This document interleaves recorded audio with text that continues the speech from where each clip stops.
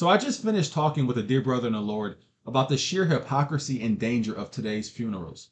Yesterday, he attended the funeral of one of his relatives, a younger cousin who lived an absolutely wicked life. It was no secret to anyone, they all knew that this young man was wicked. Now, regardless of how the person lived, typically today's preachers will preach them right into heaven. Okay, it's just the politically correct or the respectful thing to do. And it's cowardice. That's exactly what it is. It's cowardice. But the question is, are they really in heaven? Okay, that's the question. And I want to show you guys a clip that Voddie preached at the 2019 G3 conference where he pretty much tackled this very problem that we see in today's modern funeral. Vern Poythress paints a picture of this. And I'll say up front that this is a bit lengthy. And, and I wouldn't read this unless I believed that it was amazingly informative He writes an article about two funerals. If you want to see what we believe about worship, go to a funeral. A young man I know died in a tragic accident. His death was utterly sad. At his funeral, his friends were all wearing t shirts adorned with his picture. At the front of the church, were heaped up flowers, footballs, and stuffed animals. On top of his coffin was a picture from his senior prom. The service began with a recording of his favorite song, a heavy metal power ballad. The preacher gave a eulogy praising how the teenager was such a good friend, such a good person, recounting some of the funny things he used to say, telling about the dreams he had for his life.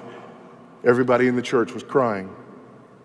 Then his best friend got up to say a few words. He was sobbing. He finally croaked out his goodbye as the congregation joined his sobs. His girlfriend recited a poem she wrote about how much she loved him. Then the boy's grief stricken father had to get up in front of everybody and talk about his son. As if all this emotion were not wrenching enough, the funeral director next played a video showing highlights of the boy's life his baby pictures, playing with his friends, enjoying Christmas with his family, waving at the cameras. There was not a dry eye in the house. People said, What a beautiful funeral it was.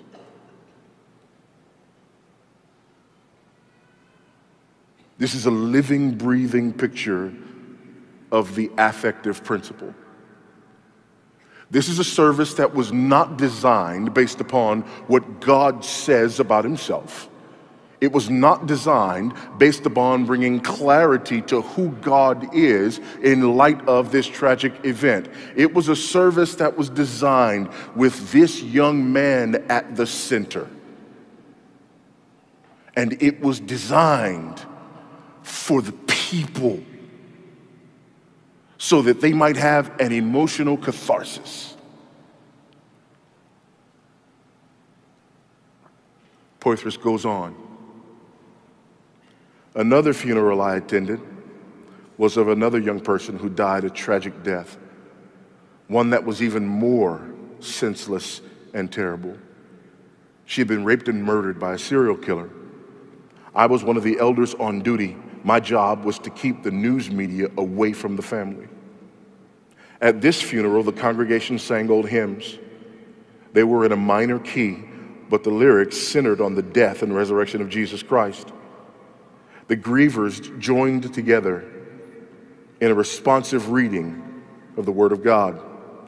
The pastor, garbed in black, read more text from the Bible. Instead of a eulogy, the pastor recited the facts of the girl's life, emphasizing her baptism, her catechism, her confession of faith. He described how she joined the church, her confirmation, and her regular reception of the Lord's Supper. The pastor, preaching from the Bible, gave a sermon on our travails in this wicked world, on how the Son of God entered our sinful condition, how in his sacrifice and his promises we have a sure and certain hope that this poor child has entered into everlasting joy. The justice of God will be manifest, and so will his mercy. He will wipe away every tear.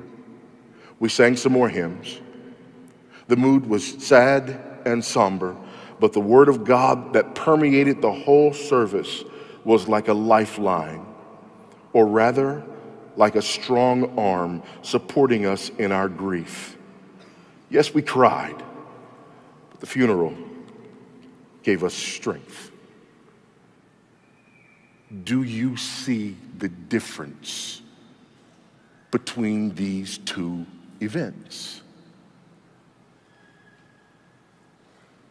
This was not a matter of preference.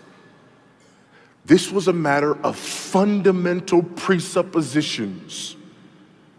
This was a matter of fundamental understanding about who God is and how we meet Him in worship. On the one hand, there is the idea that says we need an emotional experience, experience. We need an emotional catharsis. We need to focus in on what it is that will create the environment that will allow us to feel the way we want to feel, or we ought to feel, or would like to feel. And everything needs to be designed around that. And the other says, here's who God is, regardless of the circumstances. And here's what God says about Himself, about worship, and about death.